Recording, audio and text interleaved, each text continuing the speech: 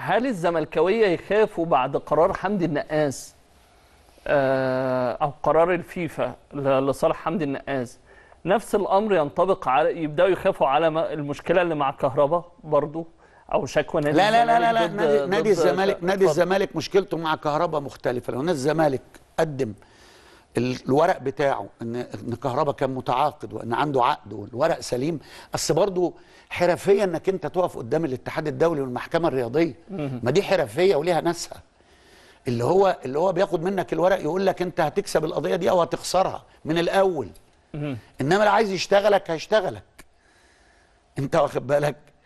إنما ما, توديش ما توديش آه، آه، يعني يعني حد محامي آه، أنا آسف في اللفظ يعني مش فاهم حاجة وتقول له اكسب لي القضية دي مش هيكسبها.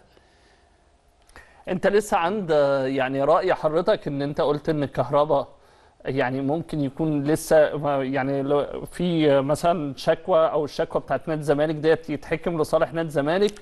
أيوه ده لو نادي الزمالك قدم في المواعيد المظبوطة أنا ما أعرفش نادي الزمالك هل قدم في المواعيد المظبوطة. هل قدم في الم... ما هو هو كهر... هو النهارده مش عندنا أكتر من حالة. زي حالة كهربا. هو شيكابالا لما لما ساب اليونان ورجع وجا جا مصر تاني وما راحش. مش اليونان خدت فلوس اتعوضت بالفلوس لأن معاه عقد.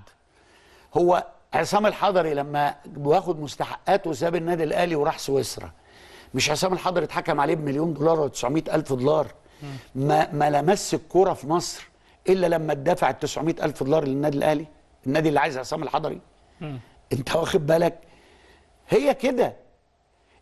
إزاي بقى الكلام ده حصل؟ ورق مترتب ومتستف. طيب أنا برضو مصر على فكرة دور اتحاد الكورة ودور جمعية اللاعبين المحترفين اللي حضرتك رئيسها في توعيه الأندية وتوعيه اللاعبين بنقول هو أنا التعامل هو أنا مع ده طب إحنا إحنا القضايا اللي زي إحنا كده. بنطلع في برامج قد إيه؟ برامج كتير قوي.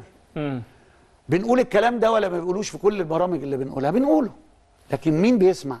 هي دي المشكلة.